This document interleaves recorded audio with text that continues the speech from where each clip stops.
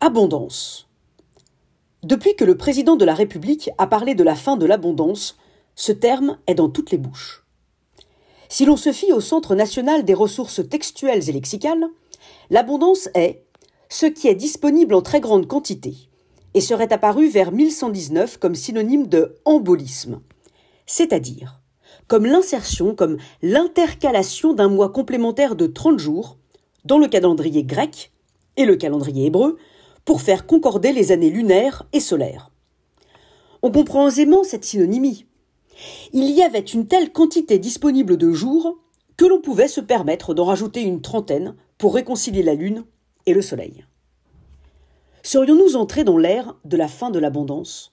Autrement dit, dans l'ère des jours comptés, des jours limités? Il est intéressant de constater que d'un point de vue philosophique, l'abondance n'a pas vraiment bonne presse. Les philosophes ont plutôt penché du côté de la modération que de celui de l'abondance. Les Grecs anciens, que ce soit Platon, Aristote ou Épicure, plaidaient pour la mesure. Dans une telle conception, le trop-plein conduirait au mal. L'abondance mènerait même à une forme d'immoralité. Échille disait que la mesure est le bien suprême.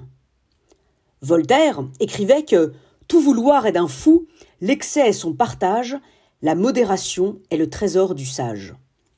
Il écrivait aussi que ni l'abstinence ni l'excès ne rendent un homme heureux. Quant à Rémy de Gourmont, il écrivait que l'intelligence a fait de l'animal humain un être qui dépasse sans cesse la mesure. Ces citations sont intéressantes à mettre en écho avec un biais cognitif bien connu, l'effet de rareté. En effet, notre cerveau est soumis à des biais dits cognitifs qui nous portent vers tel ou tel comportement. Si je donne plus de valeur à une chose rare qu'à un produit disponible en abondance, cela est dû à l'effet de rareté. Nous l'avons bien vu lors des confinements successifs avec le papier toilette et les paquets de pâtes. Autrement dit, ce biais cognitif joue un rôle dans la valeur que nous attribuons aux choses ou aux êtres, selon leur rareté ou leur abondance. Mais souvenons-nous de Robert Musil, qui disait que l'époque est antiphilosophique et lâche. On n'a pas le courage de décider ce qui est valeur et ce qui n'en est pas.